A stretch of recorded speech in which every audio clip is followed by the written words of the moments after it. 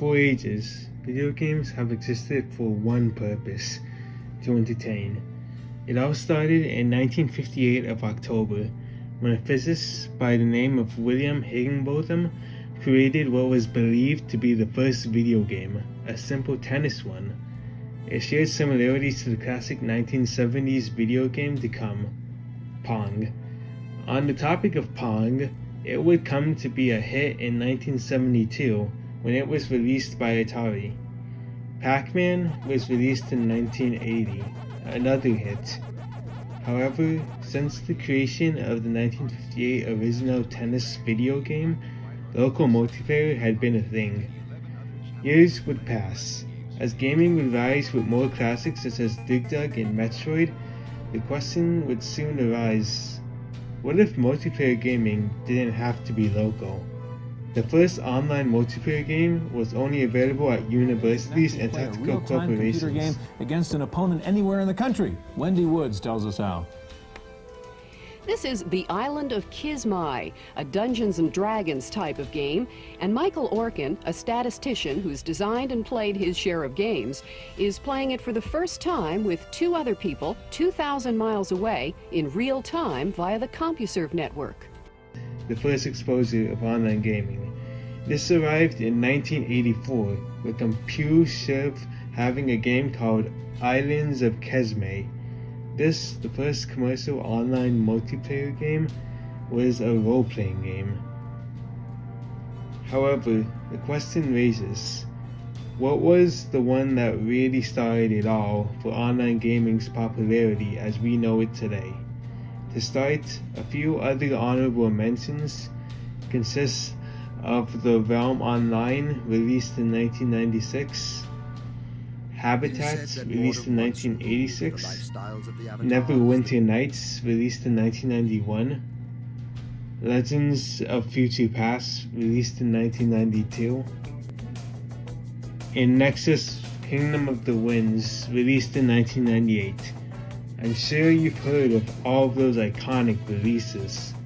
But now, moving on, huge games that paved the way for the first person shooter genre online include Wolfenstein and Doom.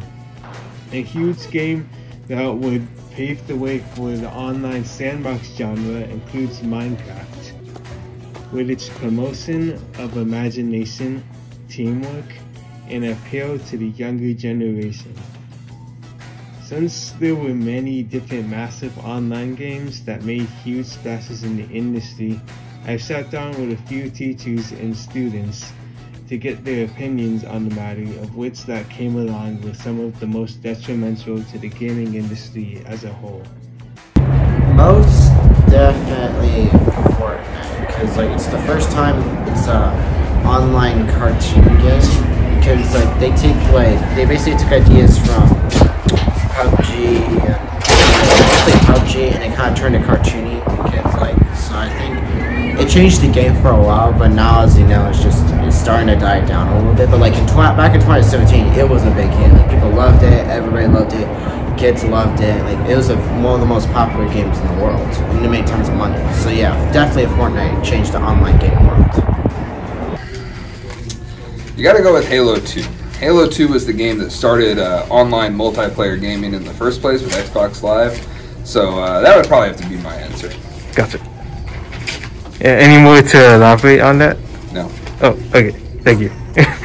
Call of Duty Modern Warfare. I mean, it's not the best one. Modern Warfare 2 is like my all-time favorite, but definitely Call of Duty um, and like World at War and all that stuff changed what it is today. Also, Rupert is the most annoying teacher here at Somerset, and if he lit on fire, I would be happy. The end.